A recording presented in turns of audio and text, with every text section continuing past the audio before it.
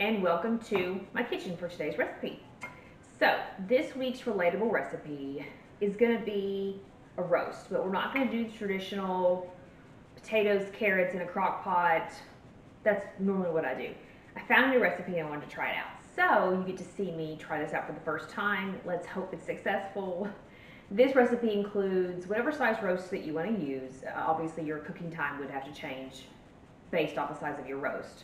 But I'm to make a dry rub and put on there and put it into this casserole dish and then cover it and put it in the fridge while I've got some other things to do. Because we're to bake this in the oven as opposed to the crock pot. And in the oven, the recipe says around four hours. I'm thinking my roast, as you can see here, is not really big. So I think it probably would do less than four hours. So you really have to watch it and pay attention to that when you go to roast it. So we're to put the dry rub on, pop it in the fridge, wait a couple of hours actually because I don't want to put this in my oven until around 3 o'clock or so.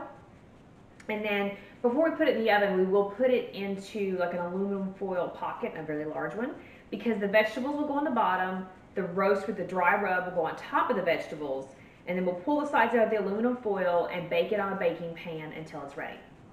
So really, once you get the dry rub on there and in the fridge, it's really just cutting up your veggies. So that's super simple. The, the uh, seasonings are a little different, so I'm really curious to see what will happen or what this will taste like because I love all of these different flavors. So I'm really excited to see how they turn out. So I've got my recipe book here. I will put a link to the recipe book in the notes at the end of the video because this is a great recipe book. And even though I'm not following this recipe exactly, it still gives me a base to start with. Like here's what they're saying to do. I'm gonna change a little bit to my preferences, but it still gives me a base to start with. And I do that all the time. So what I've got here is all the ingredients for my dry rub. And it calls for three tablespoons of cornstarch, which I have here. In this container, I have salt, pepper, I think it was, let's see here, two teaspoons of salt and one teaspoon of black pepper. And then I also have some dried thyme in here. I have one teaspoon of dried thyme. In this container, these are the two ingredients that kind of surprised me. I have light brown sugar, which that shouldn't surprise me. I use it at my barbecue a lot. So this is just going to sweeten this a little bit. But on light brown sugar, you have one tablespoon of light brown sugar. The really crazy ingredient for me was one teaspoon of instant espresso powder. Now, I love coffee, like love. So when I saw that, I was really excited. So we're gonna see what that does. I think it will be really, really great. So we're gonna see that. So in this one, which is like your average roast ingredients, dry rub stuff, I've got four teaspoons of onion powder and one teaspoon of garlic powder, which is pretty average for a roast. So all these combined, I'm really excited. So I, you know, most of the time when I do a basic roast that everyone does, I do the onion and the garlic powder, I do the thyme, I do the salt and pepper. I don't normally do cornstarch and I don't normally do brown sugar or espresso powder, so I'm really, really excited. But before you do a dry rub on any type of meat, and I'm gonna actually move this so you can see, they always suggest to get a paper towel and blot it to soak up a little bit of that moisture. So this dry rub is really gonna stick to the actual meat. So I'm gonna grab a couple of paper towels. Okay, so here we go. So I'm just gonna blot this all over. And if you are not gonna use a dry rub, I would say if you were just doing your traditional roast, I would actually suggest blotting it, but then taking it over to your cooktop, put it on like a flat iron skillet, and browning both sides of your roast before you put it in the crock pot. That just gives you a much better texture and a little bit extra flavor. But since I'm doing a dry rub, I'm not gonna be doing that. All right, so this is the fatty part, which gives it a ton of flavor. So I'm gonna blot that too.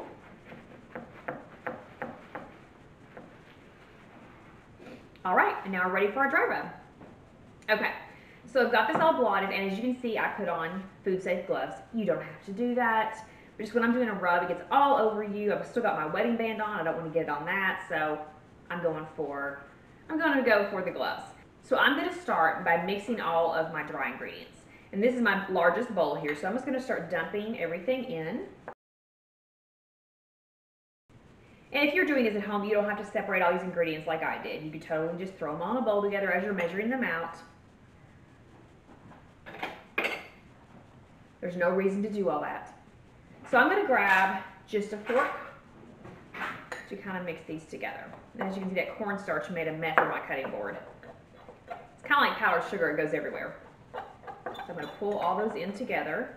Because when you do your dry rub, you don't want all the thyme on one side of your beef or all the brown sugar. You want it all evenly mixed. Now I'm gonna make a huge mess. So keep doing that. I think we're about ready. Yeah, I think we're good. Okay. So we are going to start just literally patting it on here. So I'm gonna sprinkle like that.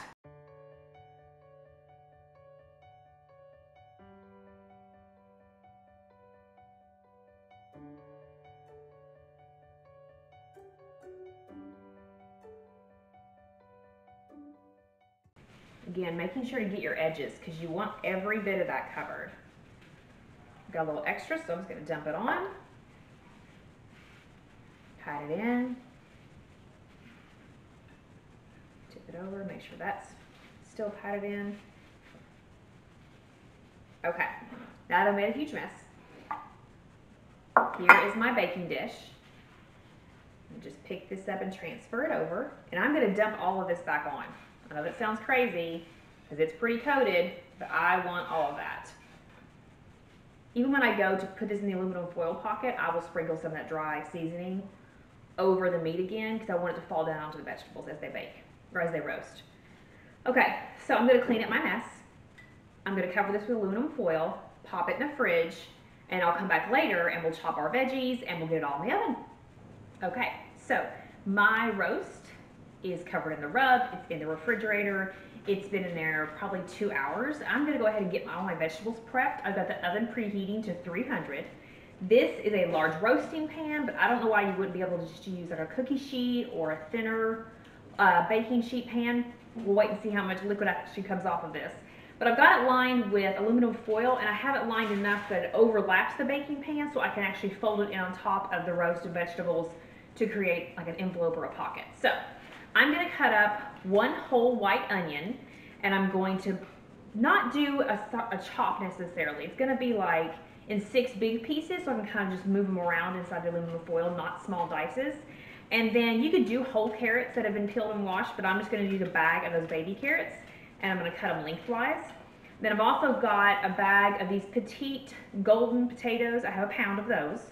And then I have bay leaves and soy sauce, which I thought the soy sauce was an interesting touch for a roast. I had not done that before. So we're gonna put two bay leaves in once we get the vegetables in, and we're gonna do a drizzle of about two tablespoons of soy sauce over the vegetables, and then we'll place the roast beef on top. So let's get started.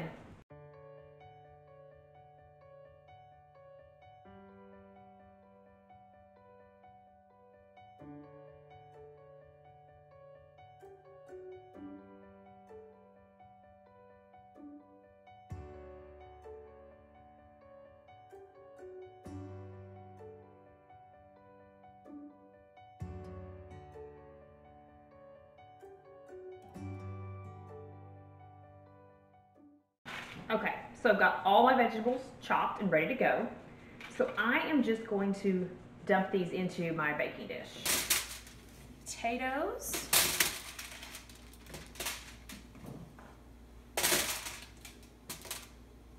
My onions. Just place them evenly about. And my carrots.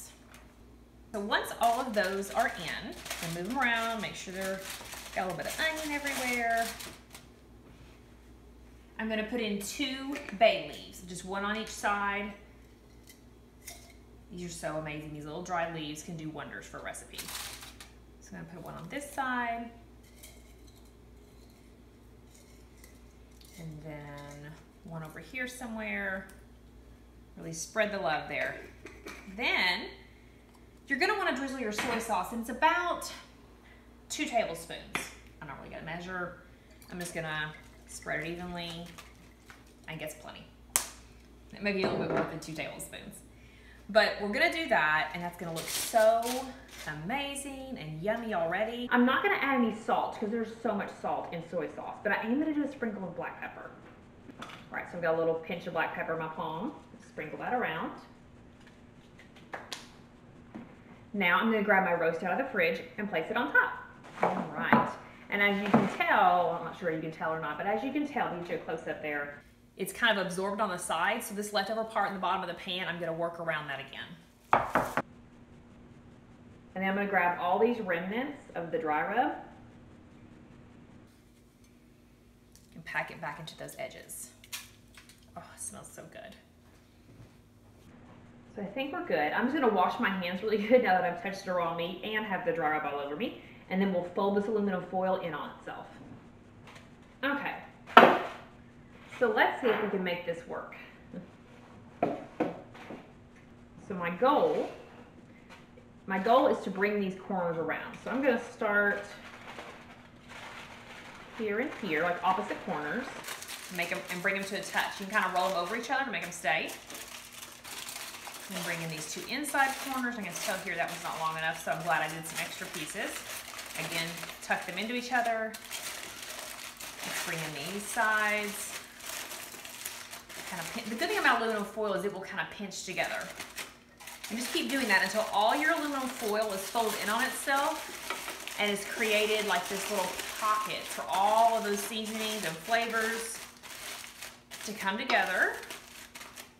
It's beautiful. Looks like I've got a perfect little gift in here. So it's gonna be in here in the oven at 300. Again, this is really gonna depend a lot on the thickness and the size of your roast. Mine, as you all saw, was fairly thin. So I'm thinking two hours at 300, but of course I can check it. You have a meat thermometer, this one that's gonna come in handy. So at two hours I can take it out, insert my meat thermometer to see if it's the right temperature, or all else fails, you can cut a little split in the center of it to see what color pink is left in the middle. However, you are releasing juices when you do that. So the meat thermometer is best. But you're gonna wanna check that. Even if you have a bigger roast, I would still check it at two hours because you're gonna wanna rotate it, maybe move it to a different part of your oven. I will say you're gonna wanna put this towards the bottom. You're not gonna put it on top rack where it's gonna be that close to the heat. You wanna bring it to the bottom rack of your oven and really try not to check on it as much as possible. You really want that heat at 300 to stay in your oven and do a nice slow roast. So we will check it out when it's done. When it's done, I will let it rest inside the aluminum foil on my cutting board for about 15 to 20 minutes before I open it up and start cutting into it. So all those juices can kind of resettle back into the roast beef. I'll meet you back here in a little while.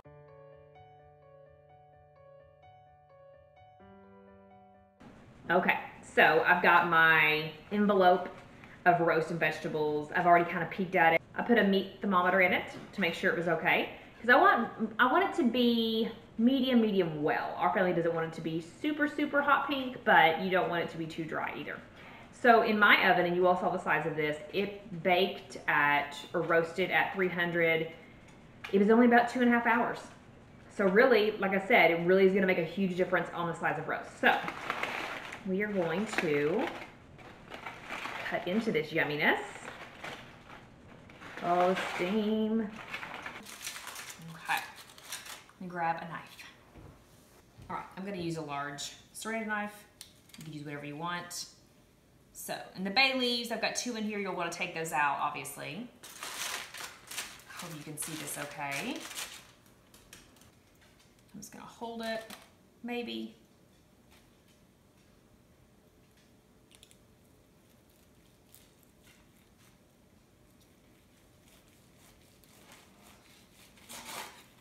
Oh, it is done. So you could have it more pink than that if you wanted to. Like I said, our, my family doesn't do super hot pink.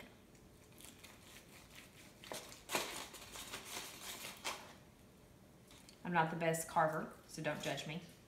I didn't think about this before, but this would have been perfect with some sort of bread, like a croissant or a yeast roll would have been perfect with this.